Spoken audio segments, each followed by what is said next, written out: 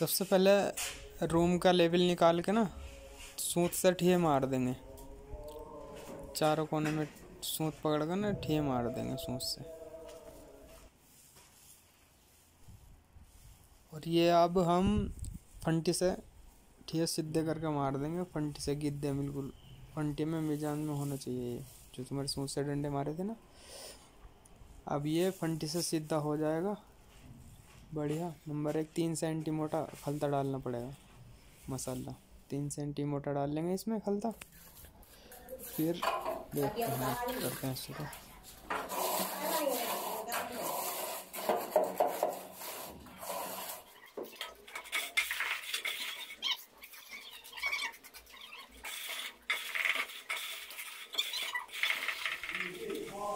मजलिस निशा